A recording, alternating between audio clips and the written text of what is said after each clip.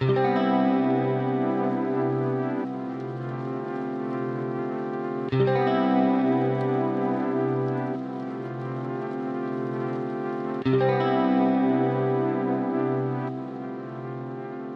Alors on a huit structures qui ont participé, euh, donc ça fait une trentaine d'élèves au total, adultes et enfants.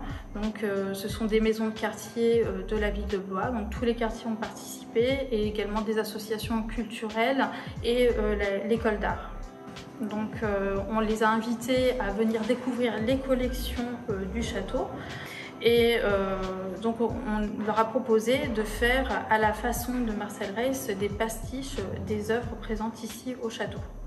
Alors un pastiche, c'est euh, une inspiration euh, d'une œuvre antérieure, donc souvent une œuvre classique, sur laquelle on va choisir pas forcément la totalité de l'œuvre, mais ça peut être un détail que l'on va détourner en fait avec euh, un autre style euh, graphique et euh, en rajoutant des codes artistiques et des messages en fait.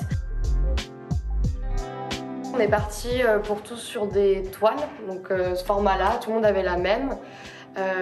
puis après, rapidement, plutôt de l'acrylique, parce que c'est ce qui est le plus facile à, mettre sur la toile. Et puis on avait euh, fait les fonds de tiroir un peu pour trouver des petits objets, des petits papiers un peu colorés, euh, plein de choses comme ça. Et, euh, après, chaque élève a vraiment été euh, totalement libre de prendre l'image qu'il voulait, le morceau qu'il voulait, et puis l'adapter vraiment comme il avait envie. Et ça a assez bien marché. Ça a été une belle avancée pour les élèves qui ont entre 8 et 15 ans, donc c'est quand même, ils sont assez jeunes. Travailler avec le château de Blois, c'est quand même très intéressant, surtout euh, qu'on est dans les quartiers nord de Blois, donc euh, les liens sont pas forcément évidents entre les, habitants des quartiers nord et le château, donc c'était vraiment un moyen de faire un pont euh, facilement, rapidement.